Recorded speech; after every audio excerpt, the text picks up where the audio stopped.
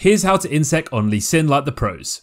First off, get yourself familiar with ward hopping. I keybind T to my trinket ward and then use this to execute it. Mastering this is key to the rest of the combo.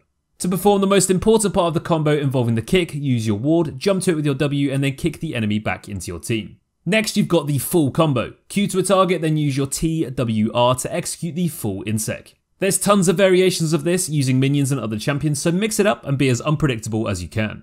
You can also add in a kick flash to this combo to make it even better and cover more distance. This is also the best way to land a kick onto multiple targets. Use your Q, then ward hop and kick flash to pull it off. That's how to Insec on Lee Sin. Good luck and have fun.